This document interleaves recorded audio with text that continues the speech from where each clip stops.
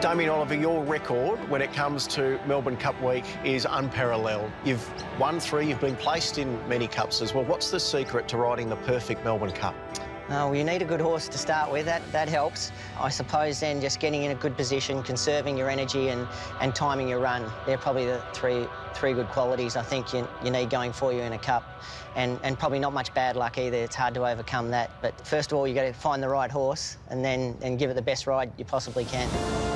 Doriemus the outside. In he goes, and the field is locked away and ready. Going back to Doriemus, your first win in the in the cup, you had your long hair, uh, not long out from WA. What are your memories of that win on Doriemus? Was was fantastic, and you know I was only 23, I think, at the time. And... But it's all Doriemus at the 100, raced away three lengths to nothing like a Uh, just overcome with emotion to think that you've you've won the Melbourne Cup, the race you dreamed, first competing in, and, and then then winning. So, yeah, some, something I'll never forget. Number six, Doriemus, has won the Caulfield Melbourne Cup double. You might say it was a very enjoyable night that night. the Media Puzzle win, there'll probably never be another Melbourne Cup like it. 19 years ago, can you believe it was that long ago that you created the fairy tale? It's strange emotions for that because it was obviously more about me losing my brother that week than, than memories, fond memories of winning the cup. But Damien Oliver riding with the spirit of Jason out by three on Media Puzzle. I think he's got the cup run. I, I feel like it was difficult to enjoy the emotions of that week, and you know it was still still very sad memories for me. But I feel it was a it was a great great tribute and a great memory for him, who was such a huge inspiration and a big part of my career, my success. So I, I was glad that I could win that cup in, in his memory. Damien stands high on the irons, salutes the heavens.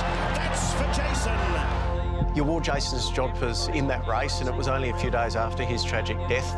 Did you come close to not riding in that Cup Carnival? Yeah, I did. I wasn't quite sure how I could deal with the emotions, and I wasn't quite sure what people would think of me going ahead to ride in that cup as well. So I had a discussion with my mum and what Jason would have wanted me to do, and the overpowering thing that kept coming back to us is that he would have wanted me to ride um, in that cup. My brother Jason, I know you up there, mate.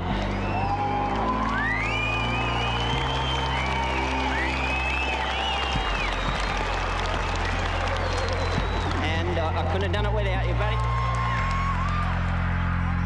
riding for Fiorente, a winner for the First Lady in racing, Gai Waterhouse? Yeah, that was a huge thrill, and uh, to ride it for Gai, I, I, did a lot of work with the horse leading up to the race, although I hadn't actually ridden him in a race before that Melbourne Cup. You know, Gai really made, made you feel part of a team.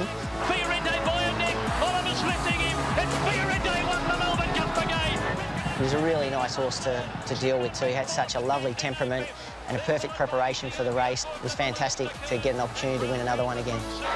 Fiorente, ridden by Damien Oliver, to give him his third Melbourne Cup. There's one record you'll also achieve this year if you win the Melbourne Cup. That's the oldest jockey to ever win the Melbourne Cup.